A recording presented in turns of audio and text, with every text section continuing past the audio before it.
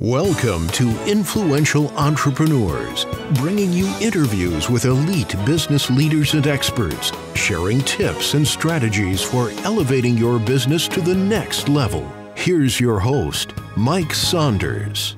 Hello and welcome to this episode of Influential Entrepreneurs. This is Mike Saunders, the Authority Positioning Coach. Today we have with us Dan Brooks, who's the founder of Xexis Private Wealth, and we'll be talking about his ease planning process. Dan, welcome to the program. Mike, how are you? Good to be here. Doing great. And I'm excited to talk to you about this planning process because I love when someone has come up with a system and a proven framework. And I love acronyms. So the ease planning process. But before we dive into that, give us a little bit of your story and background and how did you get into financial services? Well, um, Mike, that's an interesting question uh, because I didn't intend on getting into this business. Um, I was actually in the restaurant business years ago, owned a hmm. couple restaurants, and thought I was going to spend my career there and something happened in my family uh, that uh, changed us all and it and actually th- kind of thrust me into this business. So it's a little bit of an interesting story that I'll, that I'll shorten it uh, as much as I can. My dad was a was a prisoner of war and when he got back he went to college and got into the business world and he was highly successful. He was very very very smart and did well. So when I was young growing up you know, it was a pretty good life. We had the big house and the up on the hill overlooking the river and the in the boats and t- taking vacations. We lived in the Midwest and we'd vacation in Florida in the winter. And then um, one day it kind of all changed. And, uh, you know, the big house got sold. We moved into a rental. Uh, my mom went to work for the first time that, uh, you know, in my life. So hmm. it was, uh, it was pretty dramatic. And, you know, at that age, your parents don't really tell you what's going on. So I didn't yeah. know. I just had to live through it. And I didn't really find out, Mike, until, you know, many years later when my dad passed away because going back to that tough time you know his health started to deteriorate after that and he, he, was never really healthy afterwards but when he when he passed away my mom called me over and she said i need some financial help and i wasn't an advisor i was in the restaurant business but your mom asked and of course you're going to help her yeah. and I, I said what's going on? And she said well your your dad wasn't able to leave me very much. And uh, to this day i remember the look on her face and i remember the feeling in that room and that's when she kind of told me the story of what had happened that you know when he was very successful he was prudent with his money he'd saved a lot of money intended to pay for college for his five kids and was only able to do it for one. Um, so uh, the story was that that he really got some awful advice from a person in the financial services business my business now. In that case it was a stockbroker and this story is not a diatribe against stockbrokers. You know we we manage you know our group manages billions of dollars so i'm certainly not against the stock market. Mm-hmm. but but this was just really awful advice that he got. Yeah. With the market going down two years in a row he lost a bunch of money the first year. The broker said well look the market always comes back. It always has always will. You know it'll bounce back next year. Don't worry about it mr brooks.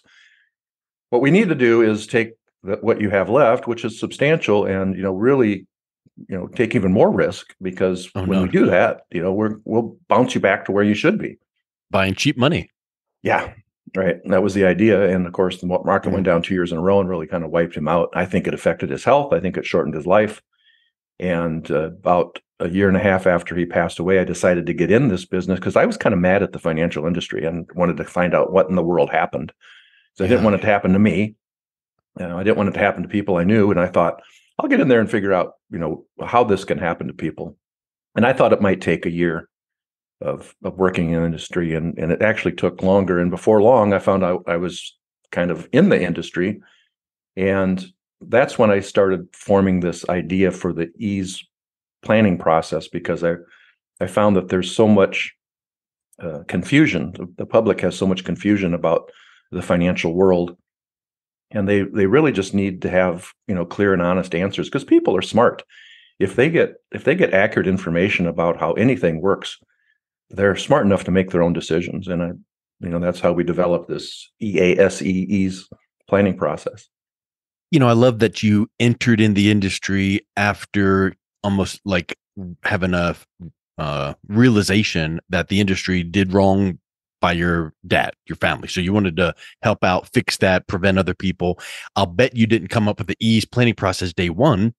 You know, you no, have to come no. in and go, let me learn the, the ropes. Let me you know work in this a little bit and then oh let me let me take note of this here. This is kind of an interesting aspect and you know let me make sure that this uh this would fit with this piece and it just slowly developed over time. So at at first when you started in the industry um what was that foundation like for you? And and i want to dive into what the ease planning process is but but what was that foundation and then what did what did you then what emerged as your specialty based on that foundation well that's a that's a excellent question because you're right um, and i in fact intentionally moved from large financial company to, to large financial company and if i named them you'd know all of them. Mm-hmm. but i did intentionally because i wanted to learn what each of them are doing and you know the different sides of the business. You know there's the investment side there's the insurance side there's the planning side. So i really wanted to you know dive into that. I did all of the training that i could do i completed the certified financial planning coursework and, and you know hundreds of hours of other training to really you know kind of peel back the curtain of what was going on in the industry so as you said bit by bit i put this ease planning process together and it really came about from our clients who were telling us at the end of the process that we're using, which we didn't have a name for. Yeah. Um, they just kept saying, Dan, you know, thank you so much. I feel so much at ease now. You know, when we when wow. we first met you, we were kind of confused. We had all these questions and we weren't getting answers to it. Everybody we talked to was just trying to sell us something. And, you know, sometimes we bought stuff and sometimes we didn't buy things, but we always wondered whether it was the right thing. And, you know, we really appreciate you laying this all out for us. So that's when we it actually one of my one of my employees said, "When you know, Dan, we we ought to call that ease." Yeah, Neat. so we did. Yeah, and and so uh, so what does the EASE stand for? Well, the first E is educate because I believe very strongly that you know mm-hmm. w- you know our our specialty is is we help people plan for retirement, and this is this is their you know what we call golden years. This is a big deal. You know, you got you, you need to get this right because this is the next 25, 30, 40 years of somebody's life, and if you make a big mistake, in retirement planning, it can be devastating. You know, it's it's not like you bought a car and the car dealer charged you six thousand dollars more than you should have paid. Um, while that doesn't feel good, it's not going to change your life. Yeah, um, much.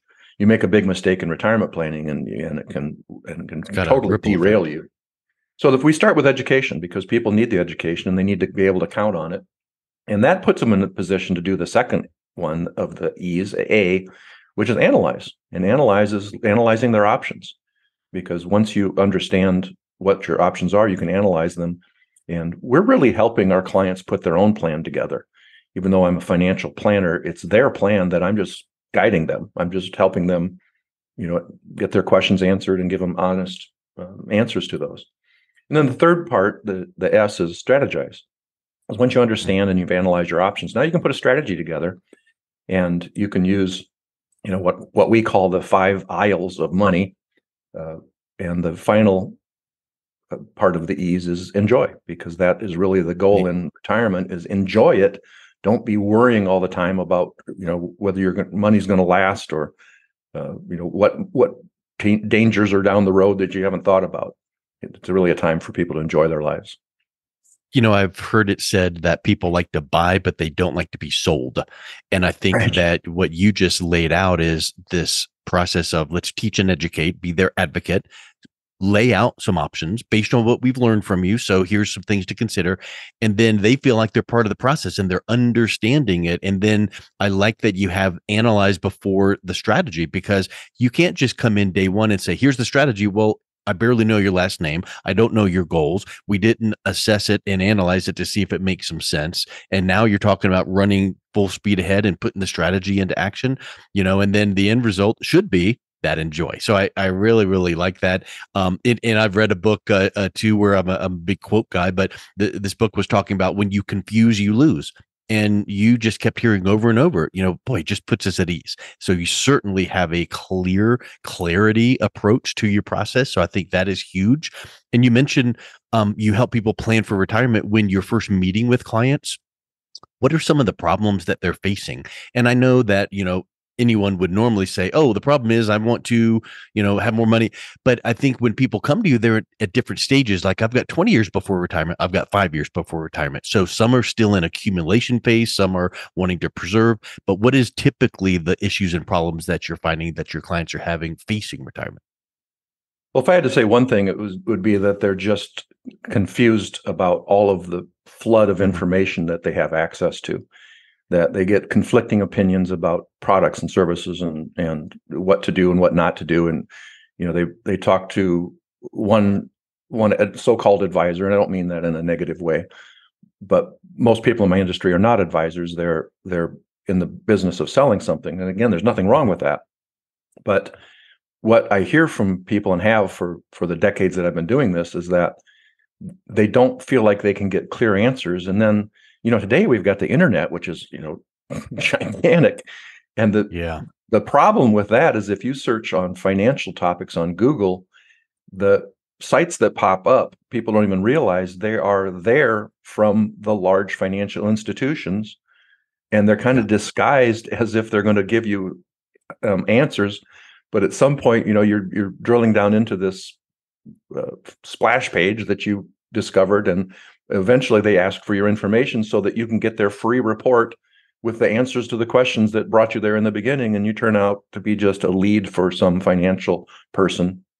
And it just again is just a sales process. So a lot of people we talk to realize that that's happening to them and some of them just know that they're feeling that. And what they really want is just honest answers to their questions because again they're smart and if they if they know how things really work they can put their own plan together with me as a guide yeah, because the the guide should be there to say, okay, so I've laid it all out. Um, what do you think about this idea for strategy? And then they're comprehending it enough to know, okay, but how would it work if? And then you're going, okay, good question. Here's how that would work. And so now you're arm in arm locked together going okay now let's talk through these things. You're not saying oh don't worry about that. You need to do it this way. You're guiding them. I think that's spectacular.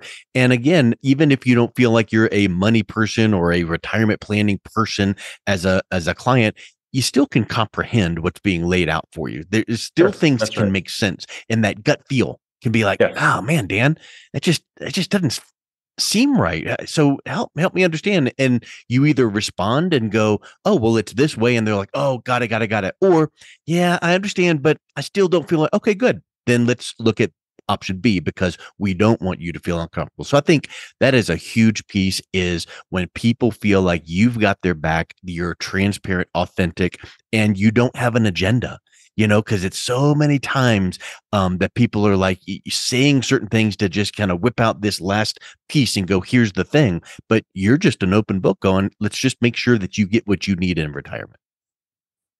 Yeah, that's right. And give them give them as much of what they want in retirement and avoid all of the things they don't want as much as you can. And there's going to be times that you say, "Oh, hold on, we we have to consider something here. This might be a hard topic to cover, but we can't do it this way because." Or if you do this then here's what's going to happen because you know the system you know you know at a certain age you have you're required to take minimum distributions out of this account and if you miss it you're gonna you're gonna hit a penalty. So we we need to make sure we put this and it might not be a fun conversation per se but it's it's necessary. So that's part of the guide is being able to communicate that with empathy. That's right. That's right. So you mentioned in your ease planning process there is something called aisles. Tell me about how aisles work. Well, the aisles are kind of a concept that we use because the the financial industry is so gigantic and confusing to people that we we broke it down into what we call the five aisles of of money where you can put money in retirement. And the visual of that is if you think about an aisle at a like at a one of the big box stores in Home Depot, for example, each aisle has different products in it. And the financial um, analogy that I use is that there there are five aisles of financial products that all are, are available to all of us, and we need those. We absolutely need mm-hmm. those products, um, just like you need the tools at, at, Home Depot. But if you go down an aisle at Home Depot, it might be the hardware aisle with a whole bunch of hammers and then a whole bunch of screwdrivers and so on, and they're all for different, slightly different uses. But like the hammers are all desi- designed to do a job, which is pounding a nail, but it depends on how many nails you want to pound and how big are they and how often you're going to do it but they're all just tools and the financial products are the same way there's five aisles of financial products and each of those aisles does its job better than the other four so mm. for example in aisle 1 there's a bunch of financial products and they're designed to do one thing. Now they can do other things, but they do one thing better than the other four aisles.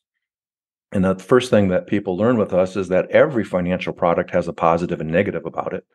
You know, there's there's nothing that doesn't in the in the world. And you should never put all your money in one aisle, even though some people do. Mm-hmm. But what we what we show them is that the negative of one aisle can be offset by the positive of another aisle. And when it's really using those financial products that that exist in all five of those aisles in their best way, let the product do its job that it does better than the other aisles. And then for the other parts of the job in your, in your plan, you go to the other aisles because it those aisles do their job better than the others. And am I correct in thinking that client A, B, and C might have a plan and a strategy that would be aisle three, two, one, and five, and then the next client might be one, four, five, and three. So it, the aisles right. are That's are right. not you know set in stone. It's just, oh, based on the fact that you guys need, let's go ahead and look down this aisle first, and then we're going to couple it with that aisle. So it it seems to me like you're the kind of the the guide looking through the potential negatives, but then offsetting it with this. But everyone's going to have a different plan because everyone needs different things. Yeah, that's exactly right. That you know, usually uh, a client is not going to use all five aisles. Some of them do, but mm-hmm. the the point is that it's their choice. Once they understand how the aisles work and how they interact with each other, they're perfectly capable of putting their own plan together with me guiding them. You know, I'm not. So, I'm not what are plan, the five aisle that, categories? Pardon me. What are the five aisle categories? That's kind of beyond the scope of this time that we have here. But um, you know, as they go through our process, that's what we, you know, we unfold for them and each each client uh, takes a different amount of time which is totally up to them.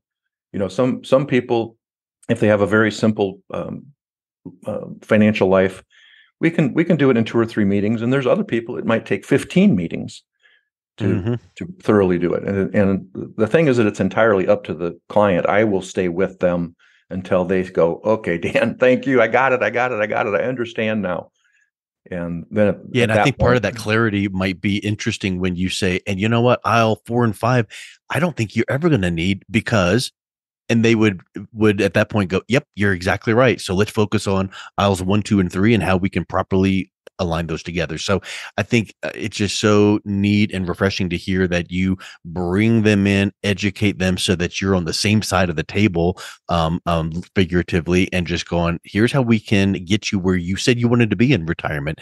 And, and, um, it's, it's just, it kind of reminds me too of like, uh, um, in music, you know, there's all the same notes, but boy, one composer can make a, a song sound whole different than another composer.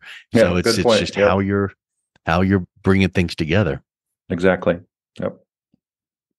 so exactly um, what i would say is what is what is some of the thing when you're talking about uh, your clients and some of the problems that they're facing um, you know, yes, the end result is, boy, this has been so clear and and whatnot. Can you think of a uh, maybe a generic uh, example or case study of client that came in, they thought one thing, you showed them the ease planning process, and then when you laid it out, they were able to accomplish something that they didn't know that they were even going to be able to accomplish in retirement. Well, uh, actually, that happens, uh, you know, all the time. That w- we get mm-hmm. that reaction. You know, some of them are more dramatic than others uh, because the the kind of the more confused they are when they when they first start, the more dramatic that aha moment is for them. Yeah, because they feel hopeless coming in. They do, and they're they're like, you know, this is just going to be another. Many of them, you know, have a planner or they've talked to planners. They've been around to to to question, you know, it, you know, getting getting advice from a number of different people in the industry, and they just come out even more confused. So that what, what you described happens to us with with every client to it to a certain degree. Wow. and it like i said the, the more confused and sometimes jaded they are yeah. and they've been burned a few times and they're, they're really skeptical when they start. And at, at the point when the, at the point when they realize that this is real and they're not they're finally getting what they wanted which was accurate honest information because you know they'll say to us things like you know this is what i've always wanted i didn't even know it was available yep that, yep i didn't know what to call it but it just seemed like this should have been, you yeah, know, the process. And finally, doing it this way. Yep. Yep. You know, eh, kudos to them, you, these clients you're mentioning, these types of clients, kudos to them because um, human nature is when you get confused to a certain point, you sh- shut down, lock up, and don't do anything. So it's like, oh, if right. do you want choice A or B, they choose A or B. But if it's do you want A, B, C, D, E, F, and G, people go, mm, I do nothing. So kudos to them for continuing their search to make sure they're taking care of their family properly. They get to you, they see clarity with the e planning process. It resonates with them. The the scales fall off their eyes, they see clearly, and and they're making decisions alongside with you that resonate well and and uh, um, set well with them. So I think that's a really big realization too that people didn't shut down; they kept on until it, it, they finally got something that makes sense for them. Yeah, and it's because it's their plan. They, yep. They, I just guided them. I just, I just gave them honest truth about how the different things work, and they ask their questions and they put their plan together, and I just, I just analyze it for them and give them the truth back and say, yeah. You know, wow. I, I, I, crunch numbers and say, hey, you know what? Your plan actually works. And and yeah. It, what we're really known for is people will come to us and go, you know, we don't think we have enough money to retire, but we're really sick of working and we'd like to retire. And we take what they have in their head about their plan. You said it earlier, kind of their gut feeling about what they want in retirement. And we analyze it from a financial mm-hmm. standpoint and many times come back and go, you know what? You can retire just the way you described it to me, and you can do it today. Wow. And you talk about a payoff in somebody's business. Yeah. You know, for me, they walk is, out with a little bit of spring in their step at that point. Oh, man, you should see you should see the expressions. Yeah. Wow. So that that's the fun part. I mean, that's the true payoff. You know, we we we we do very well financially, of course, and we do a lot of work for free. We do a lot of give back to the community. Um, but the you know the big payoff is that expression you get when you really change somebody's life. Yeah, one family at a time and you're you are confirming each one of those stories is confirming what we started off the conversation with is you got into the business to make sure that people are getting the best advice so that what happened to your dad doesn't happen to the next person and the next person and the next. So i think that is just spectacular dan. We we came full circle. That was awesome. What's the best way someone that is interested in learning more about what you do and how you do it how can they reach out and connect with you well, my uh, my website is difficult to sound out. You know, Xexis Private Wealth is is is difficult, but our phone number is 888 593 9475.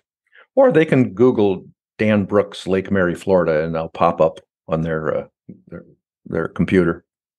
Excellent. And I'll make sure to have the uh, website in the show notes so people can click on that as well. Dan, thank Perfect. you so much for coming on. It's been a real pleasure talking with you today. You as well, Mike. Thanks. You've been listening to Influential Entrepreneurs with Mike Saunders. To learn more about the resources mentioned on today's show or listen to past episodes, visit www.influentialentrepreneursradio.com.